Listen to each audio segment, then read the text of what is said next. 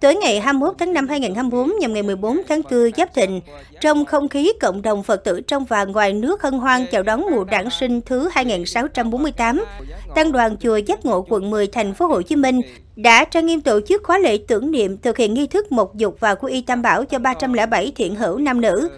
Mở đầu khóa lễ các tiết mục đạo ca cúng dường lần lượt được trình bày. Qua những giai điệu Phật giáo này, cuộc đời và các giáo lý minh triết của Đức Thế Tôn được nhắc lại, bồi đắp thêm hạt giống thiện lành trong mỗi người Phật tử tại gia. Tiếp đó, Thượng tọa trụ trì Thích Nhật Từ đã có thời pháp thoại ngắn sách tấn hội chúng, hiện tiền trước khi bắt đầu nghi thức trở thành con Phật.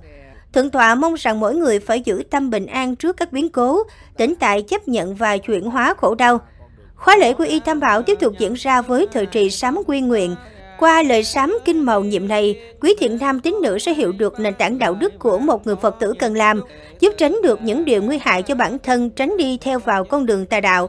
Sau cùng, nghi thức tắm Phật được tiến hành trang trọng, tắm gội những dòng nước mát lên tôn tượng sơ sinh của Đức Như Lai.